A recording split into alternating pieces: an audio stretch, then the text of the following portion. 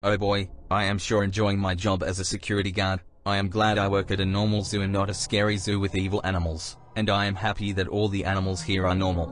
Are you sure about that? Ah!